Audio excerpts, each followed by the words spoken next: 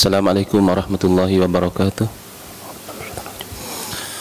Bismillahirrahmanirrahim Alhamdulillahi rabbil alamin Wa afdulu salati wa atamu taslimi ala sayyidina Muhammadin wa ala alihi wa sahbihi ajmain Rabbi syrah li sadri wa yassir li amri wa hlul uqdatan min lisani yafqahu qawli Subhanaka la ilma lana illa ma 'allamtana innaka antal alimul hakim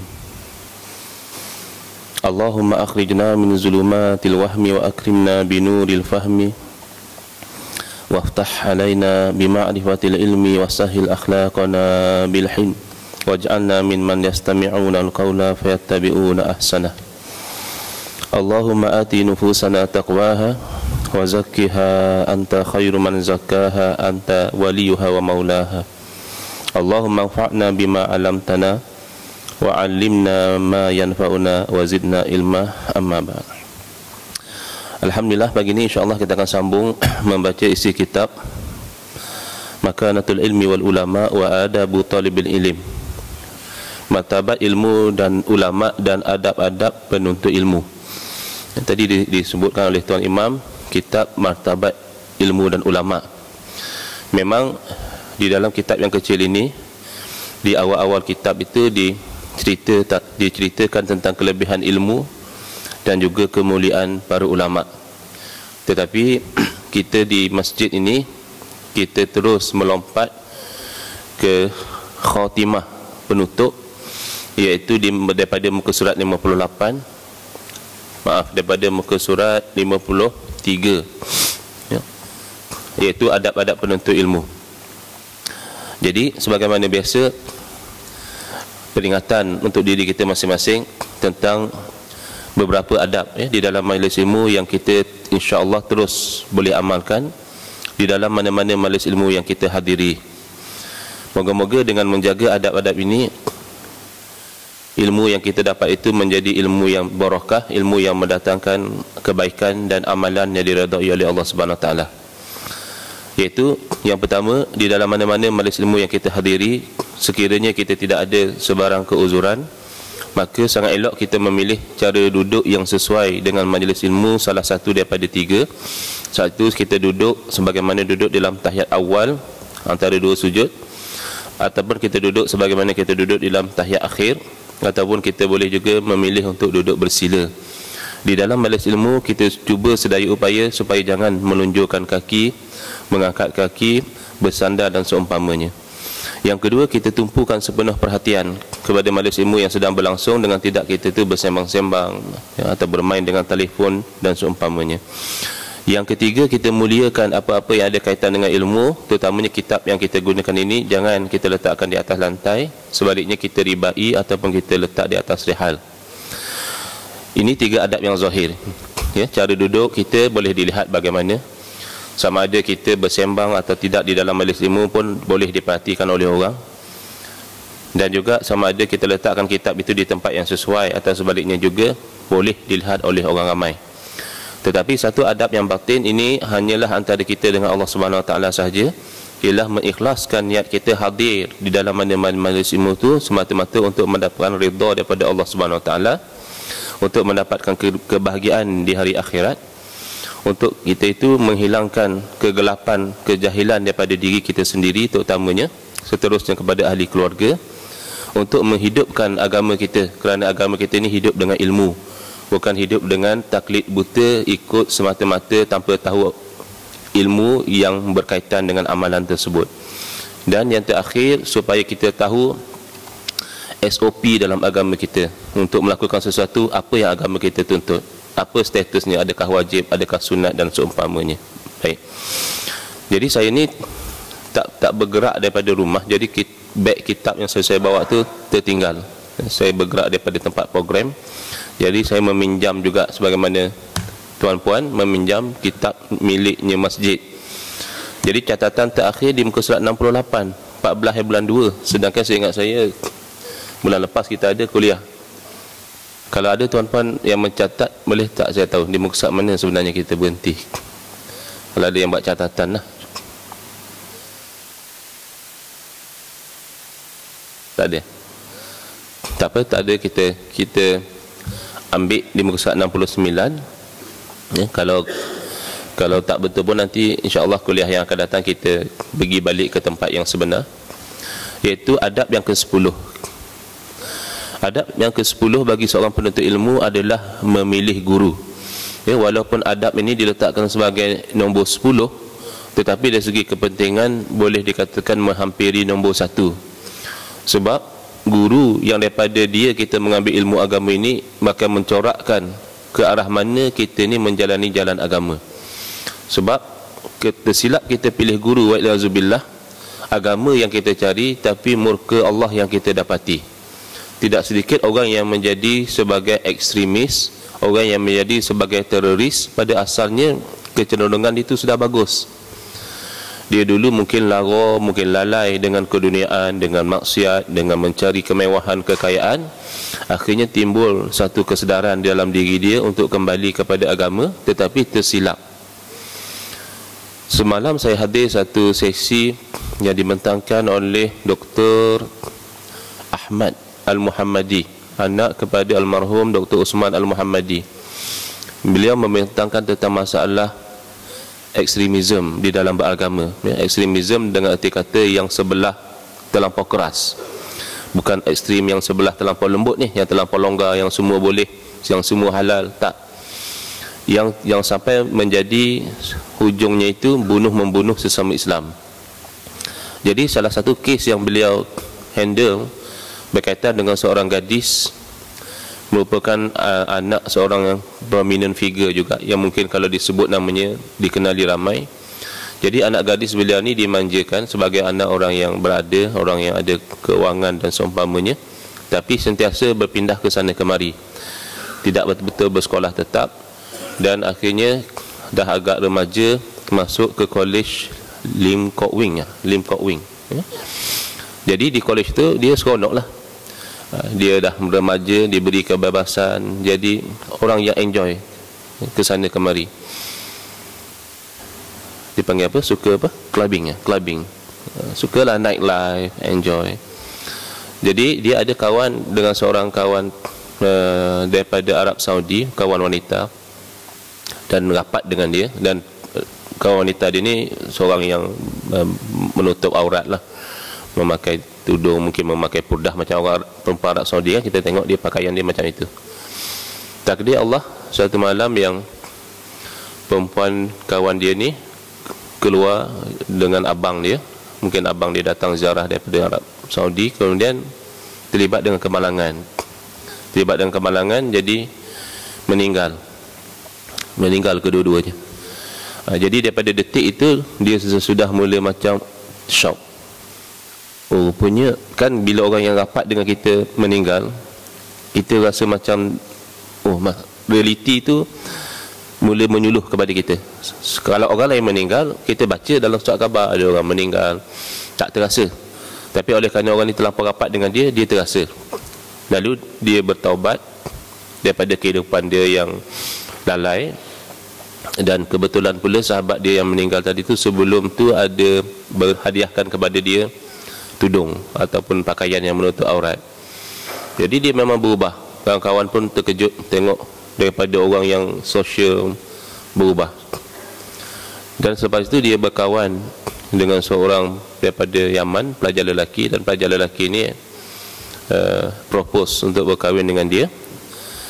Urusan dijalankan tapi agak agak memakan masa akhirnya pelajar ini meninggalkan dia pelajar Yaman ini meninggalkan dia dan dia frustrated lah. Pelajar ini pergi ke Afrika menjadi model model pakaian. Tapi setelah berlaku uh, peperangan saya tak pasti saya tak berapa ingat sama ada di Iraq atau di Syria. Mungkin di Syria. Jadi bekas teman lelaki dia ni pergi ke sana. Pergi ke sana menjadi suicide bomber. Pengebom uh, berani matilah. Tapi takdir Allah dia bukan mati dengan sebab ledakan bom tapi sebelum dia berjaya meledakkan bom tu dia ditembak.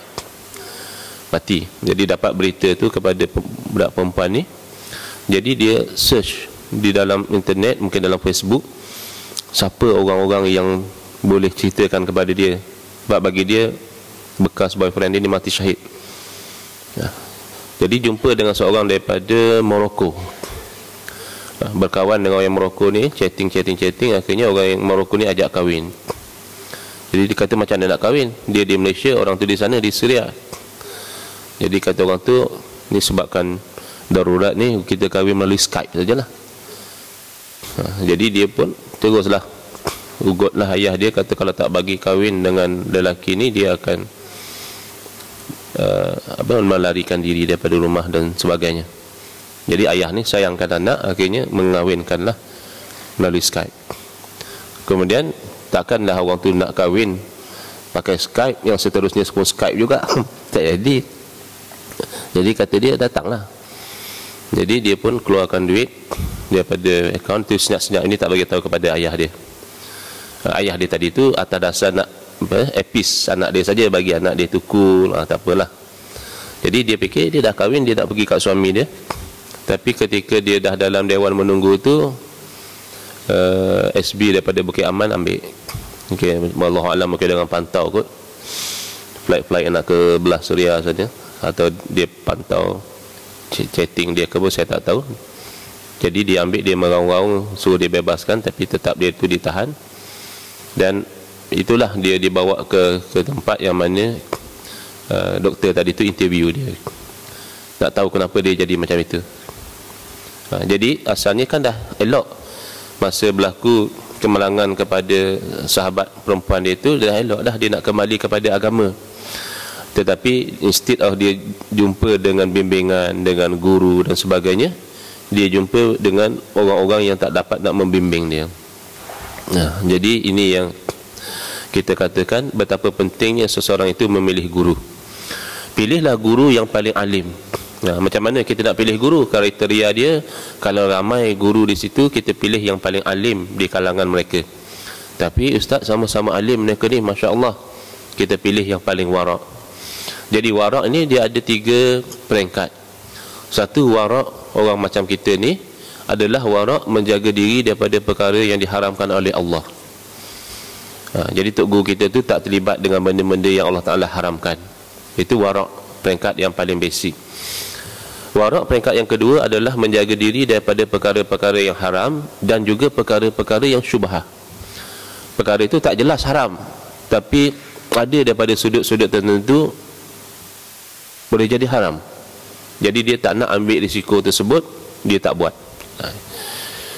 Dan warak peringkat yang tinggi adalah mengelakkan diri daripada segala apa walaupun halal tapi yang tidak membawa dia hampir kepada Allah. Makan banyak misalnya.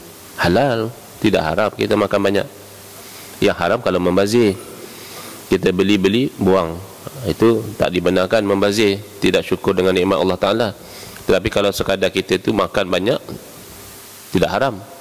Tapi dia akan fikir makan banyak ni adakah membawa dia hampir pada Allah Ta'ala dia tengok-tengok malah sebaliknya buat ibadah cepat mengantuk nak sembahyang jadi malas akhirnya benda-benda itu walaupun halal dia tinggalkan baik jadi yang warak dan tengok-tengok sama-sama warak sama-sama alim sama-sama warak maka pilih yang lebih tua. Ha, jadi kalau terjemahan tu kadang-kadang itulah dia lari. Saya pun tak berapa sedap kalau tak baca yang bahasa Arab dia tu. Saya ingat saya dalam bahasa Arab dia kata wal asan. Al-a'lam wal aura wal asan. Maksudnya yang lebih tua bukan yang tua. Boleh jadi tok guru kita tu muda dan kadang-kadang sedap mengaji dengan orang muda ni dengan semangatnya dengan itu dan sebagainya. Ha, tapi antara dua ya yang sama-sama alim yang sama-sama warak siapa yang lebih berumur kalau kita terpaksa pilih? Ha, dia sama seri seri dari segi ilmu seri dari segi kewarakan maka kita pilih yang lebih berumur antara kedua-duanya kerana faktor umur ini memainkan peranan satu dari segi pengalaman kedua dari segi ketenangan. Ha, dia dia kurang cepat emosi berbanding dengan orang yang masih muda ha, jadi kadang-kadang orang yang masih muda tu dia agak gopoh dan ada kala terkesan dengan emosi berbanding orang yang telah berumur. Seperti mana Al-Imam Abu Hanifah rahimahullah taala memilih Al-Imam Muhammad ibn Sulaiman rahmatullahu alaih setelah beliau memikirkannya dengan masa. maksudnya bukan kan zaman sekarang kadang-kala dia dengar satu ceramah wih sedap ustaz ni berpidato ataupun kelakar ustaz ni terus diambil sebagai guru tidak buat dulu background check daripada mana ustaz ni berguru siapa guru dia macam mana akhlak dia Ha, jadi Imam Ahmad bin Hanbal sebelum memilih guru dia sebagai guru, beliau menimbangkan dengan semasak-masaknya. Malah dalam satu riwayat dikatakan beliau beristikharah, solat istikharah selama dua tahun. Lepas dua tahun baru dia tetap hati ni dia saya nak pilih sebagai guru saya. Dan setelah itu apa komen beliau? Kata beliau, aku mendapatkan seorang guru yang sopan dan tetap pendirian penyantun dan penyabar ha, dapat guru yang betul-betul dapat membimbing dia biarlah tuan guru itu adalah orang yang sempurna keahliannya jika boleh ya, kalau boleh tok guru kita tu mahir dalam bidang tauhid mahir dalam bidang fiqah boleh dia tu mendalami dalam bidang tasawuf itu cantiklah. Maksudnya dari segi keyakinan kita tu dia boleh bimbing. Dari segi amalan dia kita amalan kita dia boleh terangkan yang betul. Dan dari segi kebersihan hati dia kita dia boleh bantu. Ha, tapi kalau tak dapat sekurang-kurangnya dia berkeahlian dalam bidang yang dia mengajar kita. Katalah kita nak belajar bab faraid ha, Tok Guru kita tu kalau tanya bab tauhid yang detail-detail tu dia agak tak berapa lah. Ya, ataupun bab, bab uh, zakat misalnya dia agak kurang lah. Tapi yang bab faraid yang kita nak belajar dengan dia tu memang dia mahir. Ha, at least macam tu. Tapi kalau dia mahir ke kebanyakan bidang itu lebih baik. Mendalam makrifah ilmunya. Maksudnya bukan sekadar di permukaan saja ini kadang-kadang jadi masalah sebahagian daripada sahabat-sahabat kita mereka ni ditakdirkan Allah Ta'ala belajar di Timur Tengah pergi ke Jordan, pergi ke Mesir dan sebagainya. Tapi apa yang mereka lakukan di Timur Tengah kadang-kadang tidak betul-betul mengaji. Ha, cuma kalau di Jordan agak payah sebab sistem dia kena datang kelas. Tapi kalau di Mesir kan dia tidak wajib. Janji masuk periksa lulus boleh naik tahun. Nanti periksa lagi lulus naik tahun lagi dan sampai dia grade. Tapi hadir ke kelas atau tak itu tak penting. Kalau sistem di Jordan kalau kurang daripada 80% dia akan bar tak boleh masuk exam so kemungkinan attend tapi tak memadai juga apa ilmu yang didapati dalam kelas-kelas universiti ha, perlu ada kesungguhan untuk dia jumpa dengan masyaikh menangdah kitab dan sebagainya jadi kalau dia tidak menginfakkan diri dia kepada ilmu. Ketika dia berada di luar negara mungkin sibuk terlebih dengan politik mungkin sibuk terlebih dengan sukan mungkin ada juga yang hanyut dengan game macam-macam fashion lah. Tapi bila balik namanya ustaz. Oh, ini ustaz daripada Al-Azhar, ini ustaz daripada uh, Jordan, ini ustaz daripada Yaman dan sebagainya. Uh, dan apabila diberi pentas, diberi peluang untuk berinteraksi dengan masyarakat, ada kalanya mereka malu untuk mengatakan wallahu alam. Mereka segan untuk kata minta maaf, eh, saya tak pasti jawapan dia. Wallahu alam. Mereka nak juga jawab.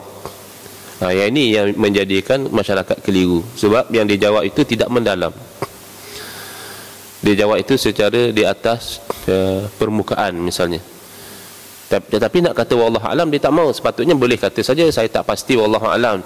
Ya, kita ambil contoh daripada sikap al-Imam Malik rahimahullah taala bahawa bila itu seorang imam mujtahid yang memang dikenali malah dikatakan tidak berfatwa seseorang itu di Madinah selagi mana Imam Malik masih ada lagi. Maksudnya orang respect. Kalau Imam Malik ada di Madinah orang lain tak sah tak payah berfatwa lah. Minta fatwa beliau saja ha, itu punca kejadiannya. Kejadian tangan wanita lekat pada faras mayat. Itu punca orang sebut. Jangan berfatwa orang lain maka Imam Malik masih ada. Jadi seorang wanita memandikan mayat. Mayat wanita yang lain. Jadi mayat wanita yang lain tu dikenali wanita tu sebagai wanita pelacur. Wanita murahan. Jadi ketika mandi itu ketika tangan dia menggosok di bahagian farash dia mengatakan ni berapa kali ni berzina ni? Terus lekat. Tangan dia tu lekat. Jadi ulama duk bincang. Macam mana nak buat? Jenazah nak kena tanam. Takkan nak tanam dengan sekali orang tukang mandi mayat? Macam mana? Nak nak nak potong tangan kita boleh jaga kemuliaan mayat tapi memudaratkan orang yang basuh orang yang mandi mayat tadi nak potong faraj orang tu menyakiti mayat. Jadi tak settle. Akhirnya diminta fatwa daripada Imam Malik. Imam Malik kata bagi saya maklumat lebih lah. Jadi dia interview dulu perempuan yang bermasalah tu. Dia tanya bagi tahu betul-betul lah makcik makcik cakap apa tu? Masa duk basuh duk mandi mayat tu ada ada cakap apa-apa tak kata makcik tu akhirnya mengaku tadi masa saya gosok tu saya, bahagian tu saya kata ni berapa kali berzina. Oh dia kata makcik dah kozah dia makcik. Kozah sebab ada ada bukti. Dia cuma dengar-dengar orang kata dia tak melihat dengan mata kepala dia. Tiba-tiba dia kata berapa kali berzina itu kozaf nama dia. Jadi kata Imam Malik sebat dia dengan 80 sebatan. Tapi sebatan dalam Islam ni bukan sebatan macam di penjara tu. yang itu lebih kurang mati jugalah 40 sebatan. Ya, sebatan dalam Islam ni tak boleh nampak ketiak pun. Orang yang menyebat tu. Sebagai lebih kepada pengajaran saja. Jadi selepas 80 sebatan, terlepas tangan dia. Nah, itu kisah. Tapi sehebat Imam Malik pun, apabila datang satu rombongan daripada negeri yang jauh, meminta fatwa daripada beliau tentang satu masalah dan beliau perhatikan masalah tersebut beliau katakan la adri wallahu alam. Saya tak tahu. Jadi rombongan yang datang daripada jauh ni macam kecewa. Contohlah eh datang daripada daripada JB sana datang ke Alusta jumpa seorang ulama nak minta fatwa tahu ulama tu kata wallahu alam saya tak tahu. Dia kata tuan guru kami datang daripada jauh ni. Nak tanya fatwa tuan guru takkan? La adri jawapan dia. Jawab Imam Malik Hatta kalau kamu turun daripada langit sekalipun Kalau saya tak tahu Saya tak tahu. Ha, Itu amanah Ulama zaman dahulu dengan ilmu. Kalau dia tak tahu Dia cakap tak tahu. Ha, Wala takfu ma laisalaka bihi ilmin Ilmun. Jangan kamu tu ikut satu yang Kamu tak ada ilmu. Ha, Jadi hati-hati ya. Jadi sahabat-sahabat kita pun yang ada title ustaz balik daripada Timur Tengah tak payah malu untuk kata tak tahu. Uh, Sayyidina Ali karamallahu wajhah pernah ketika beliau tu berkhutbah di atas mimbar ada orang tanya soalan. Orang Arab Badui ni dia tanya ya. Tanya soalan. Jawab Sayyidina Ali saya tak tahu. Jadi dia tak puas hati. Dia kata ni mimbar ni bukan tempat orang yang tak tahu Hadza laisa makan man, man, man lam yadri. Ini bukan tempat orang yang tak tahu. Jadi jawab Sayyidina Ali hadza makanun man yadri asya'an wala yadri asya'an ukhra. Ini tempat orang yang tahu sebahagian dan tak tahu sebahagian. Wa ammal lazi yadri wala yajhal adapun orang yang tahu langsung tak jahil la makana lahu. Itu tak bertempat. Itu Allah. Yang tahu segala-galanya cuma Allah. Jadi jawapan paling tepat wallahu alam. Cuma saya bagi tahu dulu masa saya mengajar di UAE kepada student-student saya kalau awak bagi jawapan yang paling tepat tak ada markah itu saja. Sebab wallahu alam tu memang tepat jawapan dia. Oh, kita tanya soalan macam-macam pasal faraid dia tulis tu wallahu alam. Kita tak boleh kata jawapan dia salah. Allah yang lebih mengetahui itu betul tapi cuma tak ada markah aja. Jadi oleh itu al-Imam Ibn Sirin Al-Imam Malik dan beberapa lagi ulama rahimahumullah berkata inna hadzal din inna hadzal ilma din. Sesungguhnya ilmu ini adalah agama. Fanzuru amman ta'khuzuna dinakum. Maka perhatikanlah terlebih dahulu bukan kepada siapa ya daripada siapa. Nah, bolehlah kalau yang bawa pen tu cat, buat sedikit catatan. Daripada siapa kamu mengambil agamamu? Sebab bila kita mengambil ilmu daripada seseorang, hakikatnya kita sedang mengambil agama kita daripada dia. Jadi jangan sembrono asal nampak serban dia besar, asal nampak jubah dia labuh, terus kita ambil sebagai guru kita. Tak sedikit orang-orang yang menyamar sebagai ahli agama dengan pakaian luaran. Semalam anak saya beli surat khabar. Dia darjah 6 dah rajin pula dia beli metro.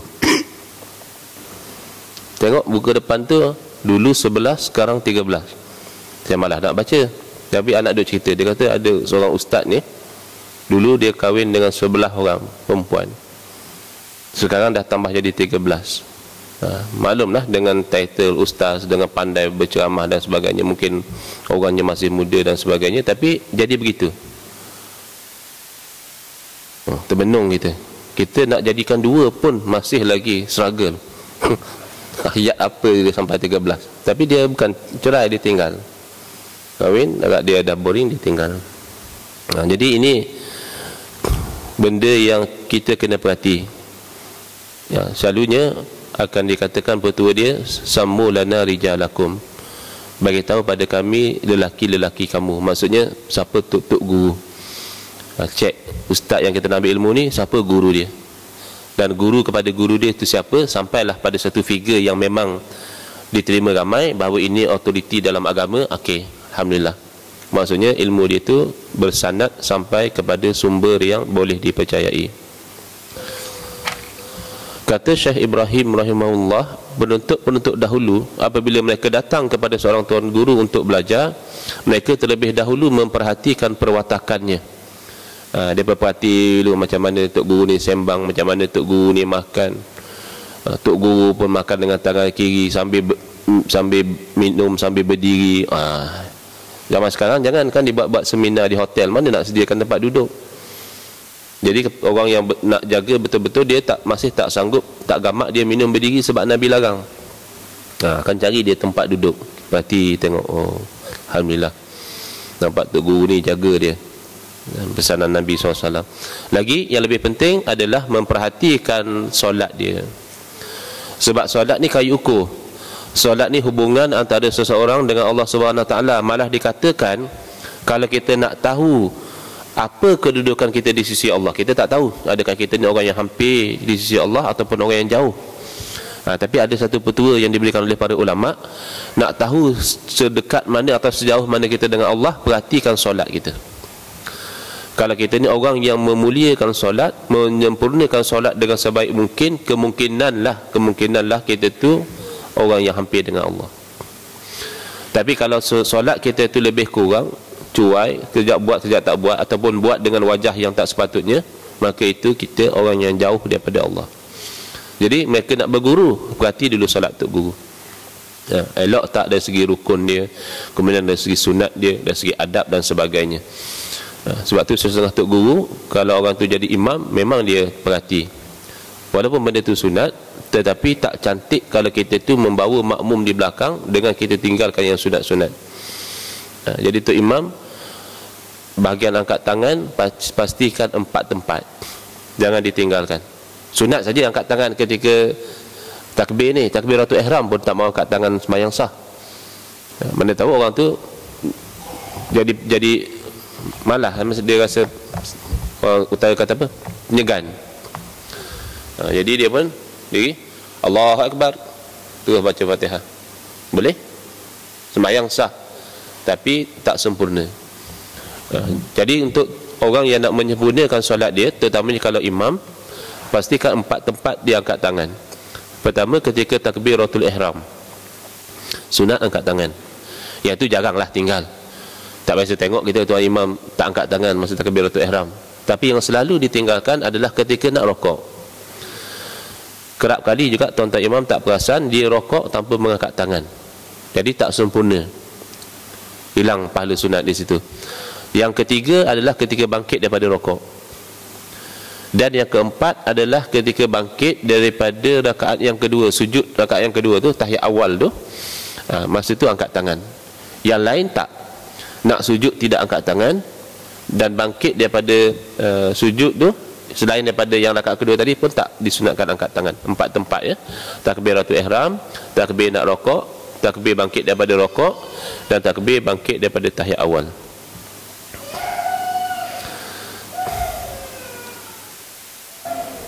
Ha, jadi dah perhati perwatakan dia bagaimana? Dah perhati solat dia elok kemudian barulah mereka mengambil ilmu daripadanya. Daripada al-Imam As-Sauri Sufyan As-Sauri rahimahullah taala katanya sesiapa menimba ilmu daripada orang yang ahli bid'ah maka Allah tidak akan memberi manfaat dengan ilmunya. Apa maksud ahli bid'ah di sini? Iaitu orang yang mengajar lain daripada apa yang disampaikan oleh Rasulullah sallallahu alaihi wasallam. Ha. bukan ahli bid'ah yang baca yasin malam jumaat. Bukan ahli bid'ah yang wirid lepas sembahyang. Yang itu wirid lepas sembahyang bukan bid'ah. Nabi suruh wirid ramai-ramai? Tak ada pula Nabi larang. Nabi suruh wirid. Dan antaranya Nabi SAW kata siapa yang kata la ilaha illallah wahdahu la syarikalah lahul mulku wa lahul hamdu yuhyi wa yumitu wa huwa ala kulli syai'in qadir. 10 kali. Lepas sembahyang subuh lepas sembahyang maghrib. Ha, sebelum dia tu menukar posisi dia. Maksudnya masih dalam keadaan menghadap kiblat lagi. Masih dalam keadaan dia macam tahiyat akhir dia. Maka dia tu akan diberikan 10 kebaikan dihapuskan 10 kejahatan dinaikkan 10 darajah dan dijadikan dia tu pendinding perisai daripada syaitan. Tak, tak, tak dikatakan mesti kata seorang-seorang. Maksudnya kalau semayang ramai-ramai kata ramai-ramai. Dan begitu juga siapa yang mengatakan Allahumma ajirni minan nar tujuh kali. Bila?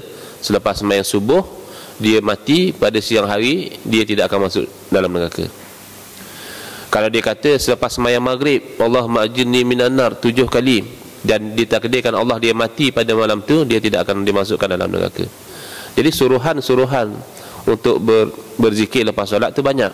Termasuk yang tasbih 33 tahmid 33 takbir 33 kalau tak mampu kita buat dalam keadaan kita tu lepas solat dalam keadaan kita berjalan memandu pun kita habiskan juga. Sebab itu dikatakan dihapuskan dosa walaupun sebanyak buih di lautan ha, jadi Nabi suruh dan malah dalam hadis soal meninggikan suara ketika uh, berzikir ni diriwayatkan oleh Sayyidina Abdullah bin Abbas kana fi ahdi Rasulillah. Berlaku pada zaman Rasulullah SAW sebab Sayyidina bin Abbas kata saya tahu orang-orang dewasa dah selesai sembahyang dengan bunyi mereka tu bertakbir. Bukanlah takbir maksudnya takbir saja. Maksudnya berwirid lah antaranya takbir Allah Akbar Allah Akbar Allah Akbar Allah Akbar. Jadi Sayyidina Abdullah Abbas ni kanak-kanak lagi. Jadi kanak-kanak ada kalanya dia tak pergi masjid. Duduk di rumah. Tapi dia tahu orang orang dah selesai semayang. Macam mana? Dia dengar orang berzikir. Ha, dah habis tu semayang dah berzikir dah. Jadi datang kita kita kata tak boleh zikir kuat. Sedangkan dalil ada. Ya al-imam syafi'i rahimahullah ta'ala berijtihad mengatakan yang eloknya zikir secara perlahan. Itu ijtihad beliau. Tapi kalau dalil membenarkan. Dan Imam Syafi'i pun taklah kata tak boleh. Maknanya dia kata elok zikir perlahan kecuali kalau tuan imam tu nak mengajar kepada makmum. Tuan imam harap dengan bacaan kuat tu makmum yang mana belum mahir dengan zikir boleh ikut. Zaman kita ni takkan nak tanya seorang-seorang. Entah mana, mana wirid. Ha, kita anggap-anggap uh, mungkinlah ada dalam ramai-ramai makmum tu mungkinlah ada seorang dua beberapa orang yang masih belum lancar wirid dia jadi dengan tuan imam tu dengan kuat bolehlah makmum yang belum lancar tadi melancarkan. Jadi tidak ada yang sampai melarang. Ha, cuma Imam Syafi'i dia lebih cenderung kalau semua dah pandai wirid tak perlulah wirid kuat. Wirid secara perlahan pun lebih baik lagi. Ha, tapi kalau dari segi dalil memang zaman Nabi SAW biasa orang wirid kuat. Ini bukan bid'ah yang dimaksudkan. Bid'ah yang dimaksudkan di sini adalah mengajar sesuatu yang berbeza daripada yang dibawa oleh Rasulullah SAW ha, contohnya amalan-amalan yang tak payah semayang. Ha, ahli bid'ah lah tu. Dia kata kita ni kalau dah sampai makam yang tinggi sentiasa zikrullah kita tak payah semayang lagi. Yang semayang-semayang ni untuk geng-geng yang masih lalai ni yang makam rendah-rendah ni. Ha, sebab Allah Ta'ala berfirman akimis solat ali zikri. Dirikanlah semayang untuk mengingati akan aku. Jadi kita dah ingat Allah tak payah dah semayang ha, daripada-daripada yang lalai tu kena semayang bagi mereka ingat Allah. Ha, ini namanya ahli bid'ah. Sebab ini ajaran tidak dibawa oleh Rasulullah SAW termasuk juga ajaran yang membid'ah bid'ahkan orang ni tak dibawa oleh Rasulullah. Baca yasin pada jemaat bid'ah. Zikir lepas semayang bid'ah. Maulidur rasul bid'ah. Ini keajaran yang dibawa oleh Rasulullah SAW bayangkan. Kata dia sebab Nabi tak buat. Takkan Nabi tak baca Quran dan takkanlah kalau Nabi khatamkan Quran pada satu-satu malam tu Nabi tak baca surah Yasin. Skip. Jadi pasti ada malam-malam Jumaat yang Nabi baca Yasin. Jadi kata dia ya okey lah yang tu okey. Masalahnya antum semua ni mengkhususkan baca yasin itu malam jemaat itu yang bid'ah. Okeylah kita setuju. Kalau mengkhususkan baca yasin itu untuk malam jemaat saja memang tidak ada dalil tetapi yang dilakukan oleh masyarakat kita bukan mengkhususkan mereka membiasakan diri. Sebab yang dikatakan mengkhususkan baca yasin malam jemaat adalah seseorang itu mengatakan kalau nak baca yasin tak boleh baca malam lain. Ha, ni nak baca yasin malam ni hari ni hari ahad malam senin tak boleh boleh. Tunggu hari kami malam jemaat baru boleh baca yasin. Ha, itu namanya mengkhususkan. Ataupun kalau nak baca Quran malam jemaat jangan baca surah lain. Kena baca surah yasin ya ha, kalau baca surah kahfi ke baca surah waqiah ke baca surah sajadah ke tak boleh, tak boleh. Ha, yasin yang boleh. Ha, itu baru namanya mengkhususkan dan itu tak betul lah. Kalau ada orang yang silap faham sampai macam tu kita perbetulkan lah fahaman dia. Dia tak ada dalil tu haji. Kalau nak baca Quran mesti yasinnya. Surah lain pun boleh. Ha, tapi kalau dia semata-mata dia seronok baca yasin malam jemaah itu tidak ada larangan. Dan malah kalau kita katakan meng, meng, mengada-adakan satu cara baru dalam bab ibadah itu tidak boleh. Nabi SAW sendiri mengiktiraf. Kan kita nak ikut Nabi. Slogannya kita kembali pada sunnah Nabi. Jadi Nabi SAW sendiri dalam berdepan dengan benda baru Nabi tak satu pesen Nabi nilai dahulu. Kalau perkara baru itu selari dengan syariat Nabi iktiraf. Pernah berlaku satu orang tuan imam di zaman Nabi lah. Di zaman Nabi tuan imam ni dia rajin baca kuh Allah masa semayang jadi kalau dia dah baca surah lain pun dia baca juga lagi kuh Allah. Kita tadi kan kalau dah baca satu surah dan kita rokok lah tak dia dah baca surah lain. Masalahnya dia baca wadduha tapi kemudian kuh Allah lagi. Dan rakaat kedua baca alam nasyrah kemudian kuh Allah lagi. Akhirnya makmum kata eh pelik tuan imam kita ni. Nabi tak buat lah kalau Nabi buat tak heran. Jadi Nabi tak buat Nabi tak ajar tiba-tiba dia buat akhirnya makmum komplain. Siapa tuan imam pelik eh? Duk baca ku Allah ku Allah tak boleh kan baca macam biasa? Tuan imam kata hampa pandai hampa jadi imam lah oh, tuan imam pun tak nak mengalah. Makmum duk fikir betul juga. Dalam ramai-ramai dia yang elok yang paling elok jadi imam. Jadi akhirnya diadukan kes dia pada Rasulullah SAW. Orang kampung adu pada Rasulullah SAW kata tu imam di kampung kami ni macam ni ya Rasulullah. Adakah Rasulullah SAW tu kata tak boleh? Itu bid'ah haram masuk neraka sebab buat benda yang saya tak buat buat benda yang saya tak ajar? Belum. Nabi siasat dulu. Nabi panggil dia Nabi tanya ini dapat aduan macam ni pasal apa kamu buat macam tu? Kata dia ya Rasulullah saya kasih pada surah Al-Ikhlas ni. Surah ku Allah tu namanya surah Al-Ikhlas. Saya kasih pada surah ni. Apa komen Nabi?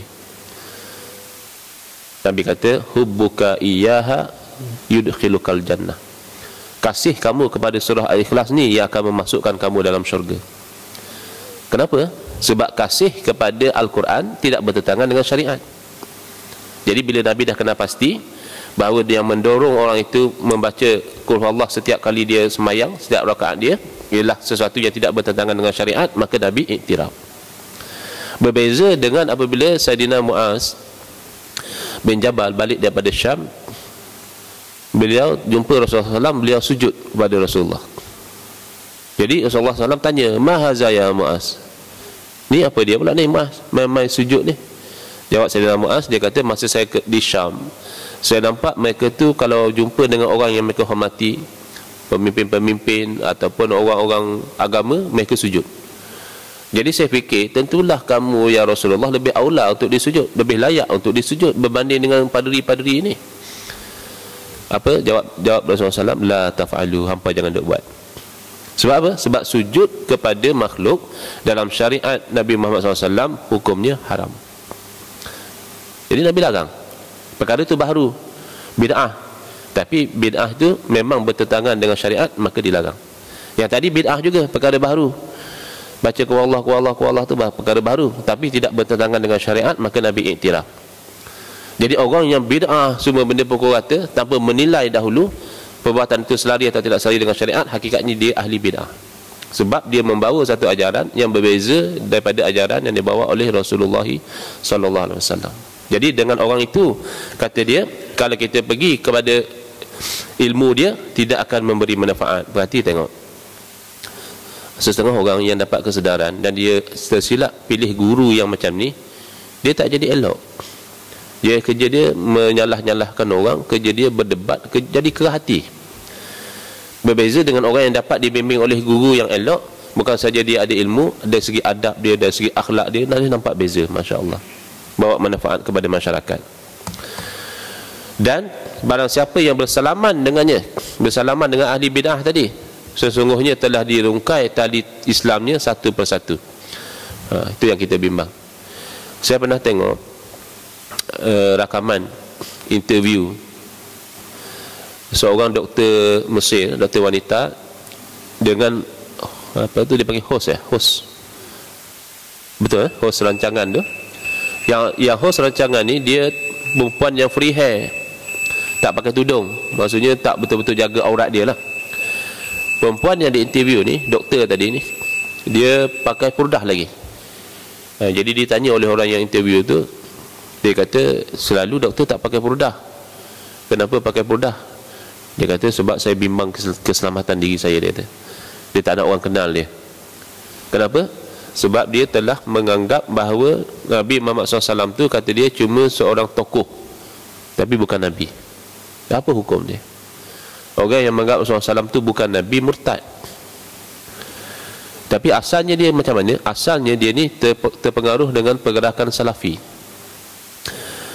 pergerakan salafi yang yang palsu lah kalau salafi yang sungguh yang sungguh kita ikut kepada golongan salaf iaitu imam-imam mazhab yang empat dan seumpama mereka itu betul. Tapi ini salafi yang mendakwa-mendakwa saja. Kononnya pergi pada Quran dan sunnah akhirnya dia daripada terlampau rigid itu tak boleh ini tak boleh dia jadi confused dia berpatah balik sebelah sana pula. Jadi murtad terus. Nah, ini yang kita bimbang ni mula-mula dia gungkai satu-satu dulu. Itu yang kita, kita duduk nasihat kat kawan-kawan kita. Hati-hati jangan terlampau seronok sangat dengan dakwah wah, wahabi salafi ni jangan. Sebab dia punya dakwah cantik. Kembali kepada Quran dan sunnah tu dakwah yang cantik. Tetapi hakikat dia adalah kita buang ulama. Ikut tafsiran dia saja. Imam Syafi'i belum tentu betul. Imam Abu Nifah tidak maksum Imam Malik tak suji daripada kesalahan Hang aku betul itu hakikatnya. Hakikat yang tersembunyi di sebalik dakyah itu. Sebab dia suruh kita tinggalkan pendapat imam-imam ni ikut Quran dan sunnah, ikut ursi dia. Ikut Quran dan sunnah tu tidak ada orang bangkang. Siapa nak bangkang dak dakwah supaya kembali pada Quran dan sunnah? Wajib kita ikut. Tapi pelaksanaan dia itu ialah ikut tafsiran dia saja. Ha, jadi kita bimbang daripada situ dia akan pergi kepada satu ekstrim yang lain, kepada satu ekstrim yang lain. Akhirnya kalau saya tengok dalam Facebook, kawan-kawan yang setengah tu yang dah tersaruk dengan fahaman ni dia mudah mengkafirkan orang. Dia kata hantar ni penyembah kubur. Oh ringan dia menyebut kepada kawan dia penyembah kubur. Sedangkan di sebalik kata-kata dia tu bila hantar murtad bila orang tu sembah kubur tak murtad ke? Orang sembah kubur tu jadi kafir sedangkan adakah benar kawan itu penyembah kubur? Tak ada lagi. Setahu saya lah berkenalan dengan orang Islam yang sembah kubur. Pergi ziarah kubur berdoa tepi kubur? Itu berdoa tepi kubur. Bukan sembah orang dalam kubur. Kita pergi kubur kita angkat tangan berdoa. Kita minta kepada Allah untuk ampunkan orang dalam kubur ataupun kalau dalam kubur tu orang yang soleh kita minta kepada Allah moga-moga Allah berkati kita dengan berkat orang dalam kubur. Itu namanya tawassul. Tawasul mengikut ahli sunnah wal jamaah adalah satu perkara yang sunat. Mengikut mereka adalah syirik.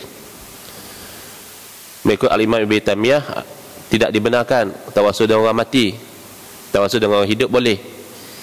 Dia jadi makin melarat. Sebelum al-imam Ibn Tamiyah ulama semua menerima tawasul sebagai amalan sunat. Dan ijma' datang al-imam Ibn Tamiyah pada kurun ke 7 atau ke 8 hijriah kata dia tawasul kepada orang mati tak boleh.